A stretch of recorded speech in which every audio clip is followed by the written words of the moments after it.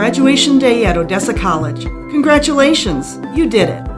This short video will show you the steps to a smooth and memorable event to commemorate your college graduation. At the check-in table, you will receive your name card, which you will hand to the announcer before you walk across the stage. When you receive this card, you will grab a pen and fill out the information on the back of the card, which will be used for graduation pictures.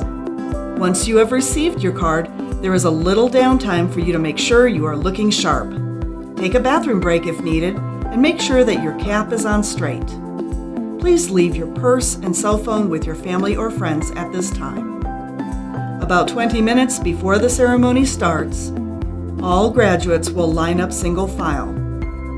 When you check in and pick up your card, you will fill in the back of the card and sit in the waiting area seat that has the same number as the number on your card. We want to make sure we are as quiet as possible while walking down to the main seating area.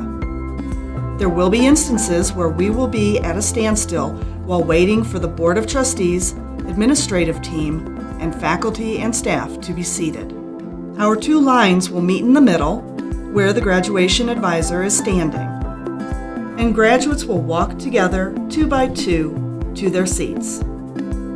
You will split off from your walking partner once you have arrived at your row. Quickly stand in front of one chair. No seats will be saved or skipped on the main floor. The graduation advisor will acknowledge each row to stand and move toward the stage. The goal is for each person in the row to stand at the same time and walk to the stage. When it is your turn to walk across the stage, you will give your card to the person announcing names. Wait in place until they have completed describing all of your academic achievements, and when your name is announced, proceed to walk across the stage, stopping to shake hands, accept your diploma folder, and then continue to the end. There will be photographers taking pictures during this entire process, so be sure to smile. Once you have stopped at the last photographer, you will head back to your seating row, continue on to your seat, and be seated.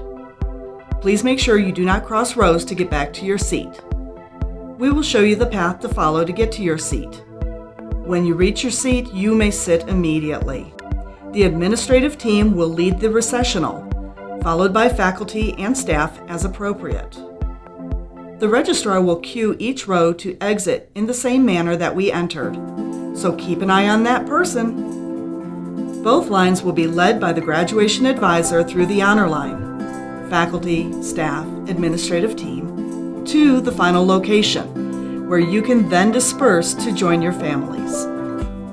Please be sure to fully enter the final location so all graduates have the opportunity to get there. Join your family and friends to enjoy a short reception. Graduates will receive an email when diplomas are ready to be picked up, about two to three weeks following the end of the term. Diplomas not picked up within a few weeks will be mailed to the address on file. All holds must have been cleared, and all classes have been completed with final grades posted. Congratulations, graduate! You have earned a world class education from an Aspen Institute Rising Star Award winning college, ranked in the top four community colleges in the nation.